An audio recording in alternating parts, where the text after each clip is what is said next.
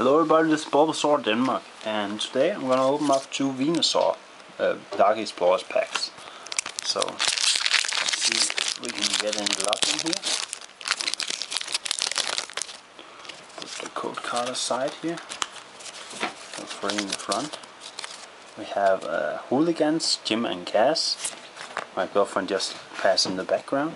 Jolteon, Crustle, Eevee, Minun, a Drillbur, Blast, Pawniard, reverses Glaceon, which is a rare. It's very nice. And a rare, a Venusaur Holo. Venusaur Holo in a Venusaur pack. That's very nice. It's Bulbasaur's full evolution form, so of course I like that very much. Very nice. Okay, last pack, Dark Original Venusaur on. Put the code card aside here. So we have a Klang, Combusken, Hooligans Jim and Cass, Avesta, Piplup, very nice, my girlfriend's favorite Pokemon.